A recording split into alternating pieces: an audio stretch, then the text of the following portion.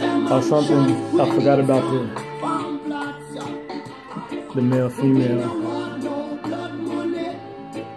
power dynamic and possible need for submission by the woman.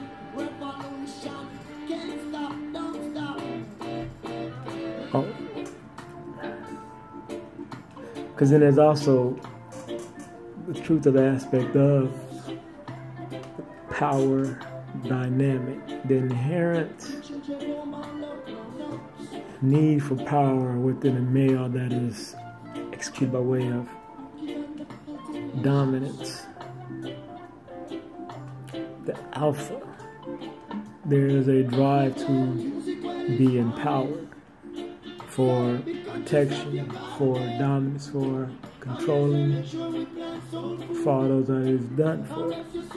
But it's always a power dynamic with the male, for the most part, except for those who like be submissive themselves.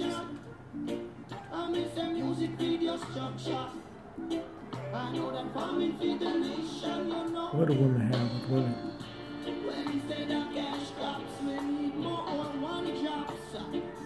Competing. So it speaks to the truth of this. So it would be inherent within the male to power their life.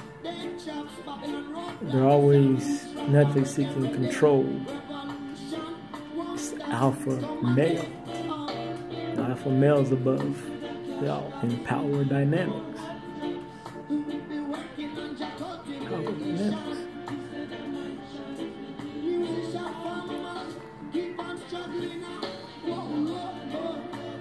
So when a woman doesn't give to this, well, I guess even the that, so caveman style, still submitting. And out what the hell the man mad about. What you being an asshole for?